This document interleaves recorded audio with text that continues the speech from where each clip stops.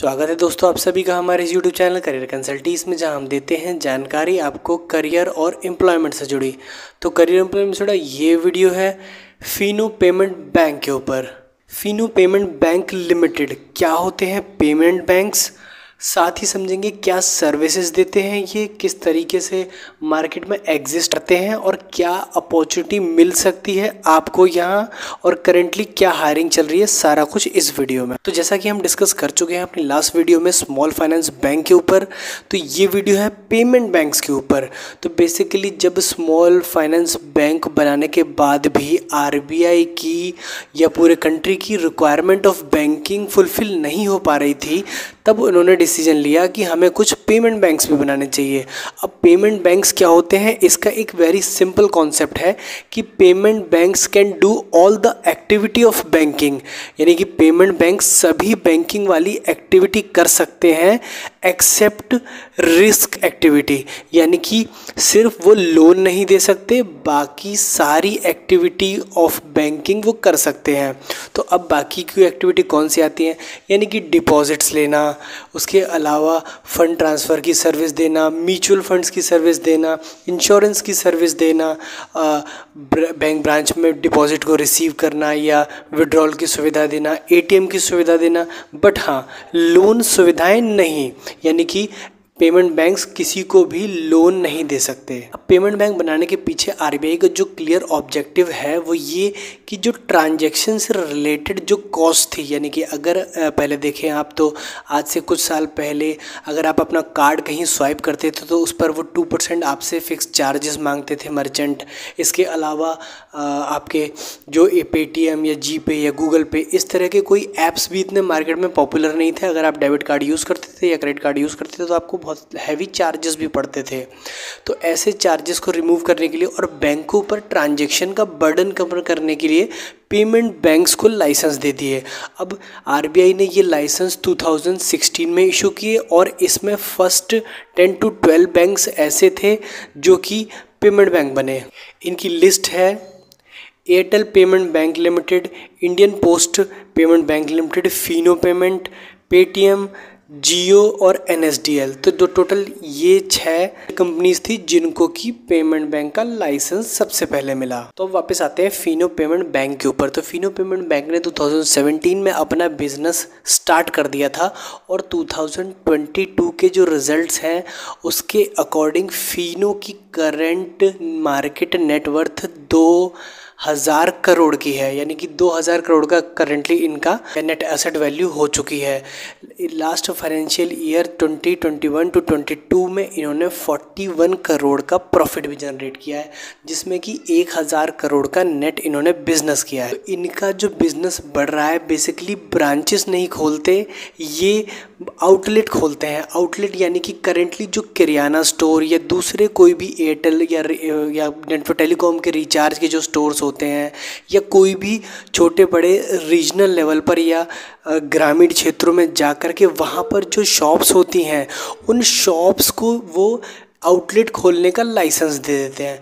तो बेसिकली जो फिनो का कोई भी एजेंट बन सकता है। इन इन एजेंट्स को इन एजेंट्स को मर्चेंट कहा जाता है और इनको आउटलेट की सुविधा दे दी जाती है। अब करना ये होता है या इसमें यह किया जाता है कि उन्हीं की दुकान में कंपनी कुछ दो चार बोर्ड लगाती है, उन्हें एक सिस्टम प्रोवाइड करती है, एक माइक्रो एटीएम बॉक्स प्रोवाइड किया जाता है। उसके अलावा किट और अदर सुविधाएँ दे दी जाती हैं और उसके उनसे कुछ सिक्योरिटी डिपॉजिट और पॉलिसीज़ फिल करवा लेती है। कंपनी एक एग्रीमेंट हो जाता है और जो किराना स्टोर वाला है, वो बन जाता है मर्चेंट उसके बाद वो एज अ बैंकर अपने क्षेत्र में काम करता है। डिपॉजिट्स लेता है विड्रॉल भी देता है नए अकाउंट्स खोलता है और कैश हैंडलिंग चार्जेस वसूल करता है। ऑल ओवर इंडिया आज की डेट में सात लाख पैंतालीस हज़ार आउटलेट्स यानी कि मर्चेंट एक्टिव हो गए हैं ऑल ओवर इंडिया ब्रांचेस की बात करें तो मेन ब्रांचेस केवल 54 हैं, हालाँकि इन्हें ब्रांचेस की उतनी रिक्वायरमेंट होती नहीं है। इसके अलावा इनकी 130 कस्टमर सर्विस पॉइंट भी हैं। तो फिनो में हायरिंग्स किस तरह की होती है या क्या काम करना पड़ सकता है आपको, वहाँ पर इसको समझने के लिए हमें समझना होगा फिनो क्या सर्विसेज़ देता है या क्या प्रोडक्ट उनके पास है। फिनो जिन प्रोडक्ट में डील करता है बेसिकली जॉब भी उसी से रिलेटेड होगी। तो सबसे पहला इनका जो प्रोडक्ट है saving bank account, current account, इसके अलावा कार्ड्स इशू करता है, फिनो की अपनी ऐप भी है, यूपीआई सर्विस भी है, फास्टैग प्रोडक्ट्स भी है, इंश्योरेंस में भी डील करते हैं। इसके अलावा माइक्रो एटीएम की सुविधा है, कस्टमर सर्विस पॉइंट्स भी हैं और टोटल 54 ब्रांचेस भी हैं। अपॉर्चुनिटी निकल के आएगी, वो इसी में से आएगी। तो जैसा कि फिनो का बिज़नेस मॉडल सिर्फ़ डिपॉजिट रिसीव करना है और कैश हैंडलिंग चार्जेस को चार्ज करके अपने कस्टमर से इनकम कमाना है तो आपका जो जॉब प्रोफ़ाइल रहेगा इस कंपनी में, वो बेसिकली इनवार्ड को मैक्सिमाइज़ करना होगा। तो यानी कि अगर आप यहाँ पर सेल्स एग्जीक्यूटिव की जॉब लेते हैं या कोई दूसरी तरह की भी बेसिकली कस्टमर रिलेशनशिप की जो कस्टमर रिलेशनशिप मैनेजर की जॉब लेते हैं तो अल्टीमेटली जो आपका जो वर्क रहेगा, वो फिक्स डिपॉजिट रेकरिंग डिपॉजिट और कंपनी में आने वाले इनवार्ड को मैक्सिमाइज़ करना होगा। तो जैसा कि फिनो लैंडिंग्स नहीं करते, यानी कि लोन नहीं देते तो डेफिनेटली इसमें डिसबर्समेंट और कलेक्शन से रिलेटेड कोई ख़ास वर्क है नहीं। जो जो बेसिकली जो प्रोफ़ाइल रहेगी वो या तो डिजिटल रहेगी या फिर डिपॉजिट्स को मैक्सिमाइज़ करने की रहेगी, यानी कि डिपॉजिट्स लेकर के यानी वेरियस स्कीम और अकाउंट खुलवाने करेंट अकाउंट सेविंग अकाउंट उसके अलावा जो बड़ी कंपनीज़ होती हैं, उनको कैश हैंडलिंग की फैसिलिटी देना, इस तरह के इसमें जॉब्स रहेंगे। हायरिंग्स कहाँ देखी जाए तो पहली चीज़ तो ये फिनो की जो मोस्ट प्रॉब्ली वैकेंसीज होती हैं, वो उनके एच आर फेसबुक पर पोस्ट कर देते हैं।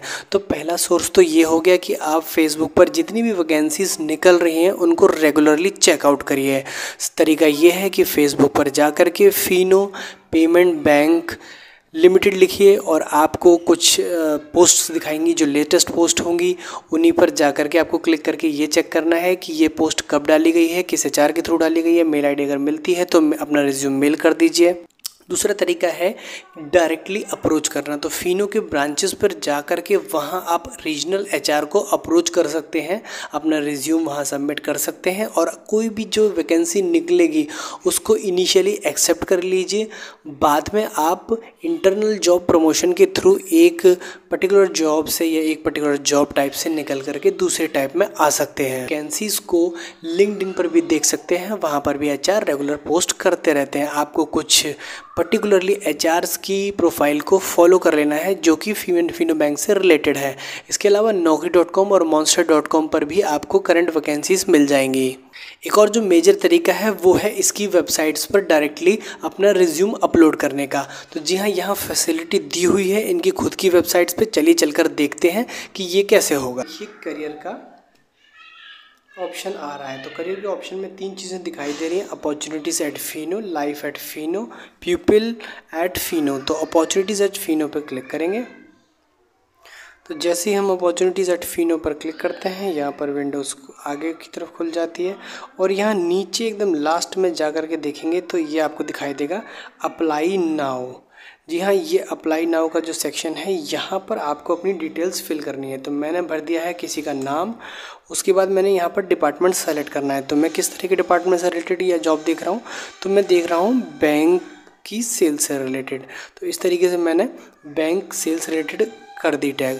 अगर इसके अलावा भी आप कोई देख रहे हैं तो यहाँ पर देखिए ऑप्शंस आ रहे हैं। पर्टिकुलर डिपार्टमेंट के bank business technology central operations administration corporate finance digital and innovation group human resource legal market products and all others ठीक है, चलिए प्रोडक्ट की जॉब सेलेक्ट कर लेते हैं। यहाँ पर अपना मोबाइल नंबर भर देते हैं हम।